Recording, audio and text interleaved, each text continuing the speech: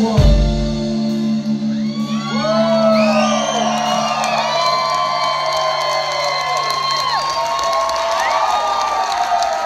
and gentlemen, Mr. Paul Banks, Bobby Singles, and Matt Brown, New York Banks, and